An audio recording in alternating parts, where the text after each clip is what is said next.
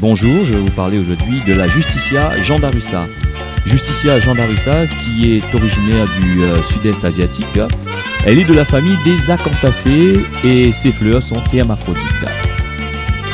À La Réunion, cette plante est connue sous le nom euh, de Nachuli, Ayapana marron, Yapana marron, Yapana des bois. Elle a une ressemblance avec, euh, une très très grande ressemblance même avec l'Ayapana tripinervis. Cette plante est utilisée euh, ici euh, à La Réunion et aussi euh, dans certains pays pour soigner les personnes atteintes de l'asthme.